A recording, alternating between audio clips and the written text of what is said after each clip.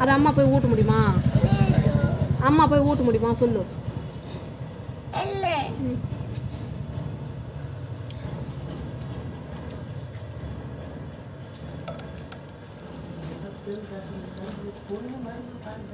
ஆமாம் அவங்களுக்கு அதுதான் பிஸ்னஸ்ஸு அவங்களுக்கு அதுதான் பிஸ்னஸ்ஸு